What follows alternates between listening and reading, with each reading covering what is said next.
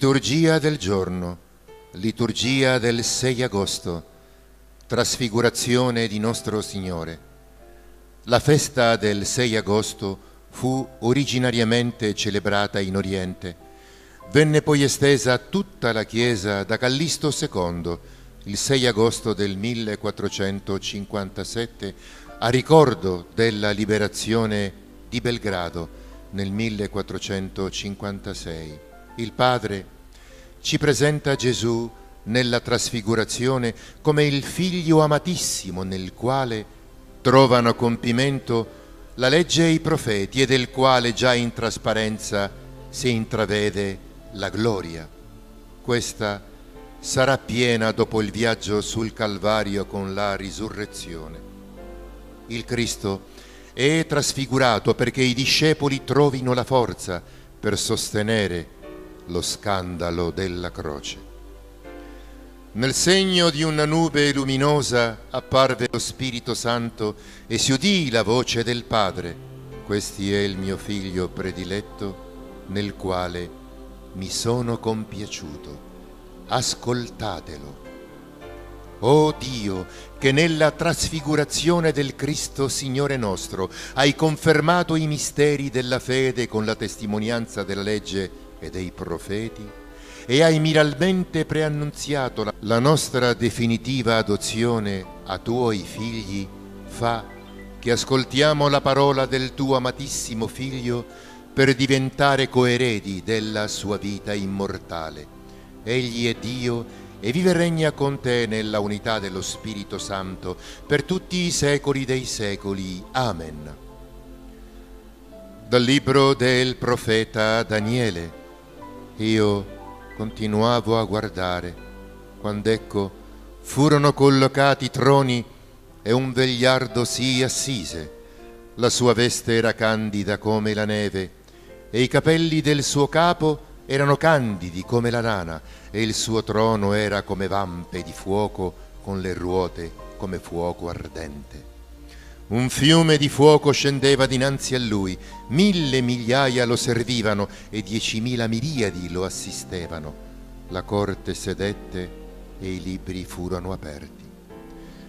Guardando ancora nelle visioni notturne, ecco apparire sulle nubi del cielo uno, simile ad un figlio d'uomo, giunse fino al vegliardo e fu presentato a lui, che gli diede potere, gloria e regno tutti i popoli, nazioni e lingue lo servivano.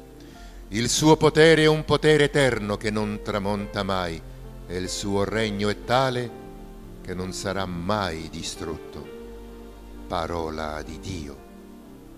Daniele assiste all'apparizione di Dio, giudice e signore di tutti, nell'immagine del vegliardo. Lo stesso vegliardo affida la regalità a uno come figlio d'uomo costituito Signore universale. Dal Salmo 96 splende sul suo volto la gloria del Padre. Il Signore regna, esulti la terra, gioiscano le isole tutte. Nubi e tenebre lo avvolgono, giustizia e diritto sono la base del tuo trono.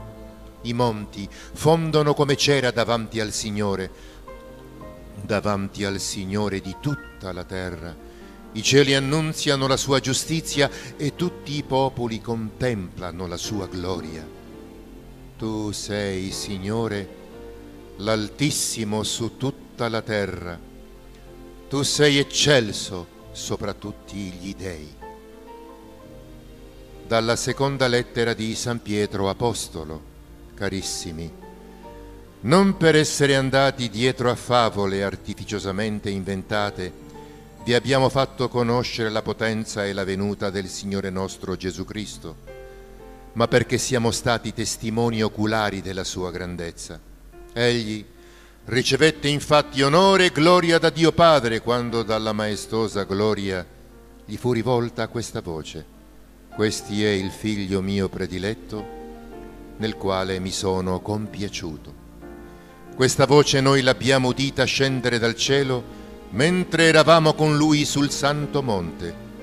E così abbiamo conferma migliore della parola dei profeti, alla quale fate bene a volgere l'attenzione come a lampada che brilla in un luogo oscuro, finché non spunti il giorno e la stella del mattino si levi nei vostri cuori. Parola di Dio. Il Vangelo relativo al Signore Gesù non si fonda su favole inventate ad arte, ma sulla testimonianza che viene dall'esperienza oculare degli Apostoli, spettatori della sua rivelazione e del suo riconoscimento da parte del Padre nella trasfigurazione. Tale testimonianza rinvigorisce la stessa scrittura, lampada in attesa che venga Cristo glorioso. Alleluia, alleluia. Dalla nube luminosa si udì la voce del Padre. Questi è il mio figlio prediletto, ascoltatelo. Alleluia. Dal Vangelo secondo Marco. In quel tempo Gesù prese con sé Pietro, Giacomo e Giovanni e li portò sopra un monte alto, in un luogo appartato, loro soli. Si trasfigurò davanti a loro e le sue vesti divennero splendenti, bianchissime. Nessun lavandaio sulla terra potrebbe renderle così bianche. E apparve loro Elia con Mosè, che discorrevano con Gesù. Prendendo allora la parola, Pietro disse a Gesù, Maestro, è bello per noi stare qui, facciamo tre tende, una per te, una per Mosè ed una per Elia non sapeva infatti che cosa dire poiché erano stati presi dallo spavento. Poi si formò una nube che li avvolse nell'ombra ed uscì una voce dalla nube. Questi è il mio figlio prediletto, ascoltatelo. E subito, guardandosi attorno, non videro più nessuno se non Gesù solo con loro. E mentre scendevano dal monte, ordinò loro di non raccontare a nessuno ciò che avevano visto, se non dopo che il figlio dell'uomo fosse risuscitato dai morti. Ed essi tennero per sé la cosa, domandandosi che cosa volesse dire risuscitare dai morti. Parola del Signore. La trasfigurazione rivela una volta ancora l'identità di Gesù come il battesimo Egli è il figlio prediletto di Dio, inviato perché sia ascoltato. E lui la parola, il Vangelo, lì in abitazione è la tenda di Dio, il segno della sua presenza nella sua persona trasfigurata. Santifica queste offerte, o oh Padre, per il mistero della trasfigurazione del tuo unico Figlio, e rinnovaci nello Spirito con lo splendore della sua gloria. Per Cristo nostro Signore. Amen. È veramente cosa buona e giusta, nostro dovere e fonte di salvezza, rendere grazie sempre in ogni luogo a Te, Signore, Padre Santo, Dio Onnipotente ed Eterno, per Cristo nostro Signore. Amen. Dinanzi ai testimoni da Lui prescelti, Egli rivelò la sua gloria e nella sua umanità, in tutto simile alla nostra, fece risplendere una luce incomparabile per preparare i suoi discepoli a sostenere lo scandalo della croce e anticipare nella trasfigurazione la meravigliosa sorte della Chiesa, suo mistico corpo e noi uniti agli angeli e ai santi cantiamo senza fine l'inno della tua lode. Santo, santo, santo è il Signore, il Dio dell'universo. I cieli e la terra sono pieni della tua gloria. Osanna nell'alto dei cieli. Benedetto colui che viene nel nome del Signore. Osanna nell'alto dei cieli. Quando il Signore si manifesterà, saremo simili a Lui perché lo vedremo così come Egli è.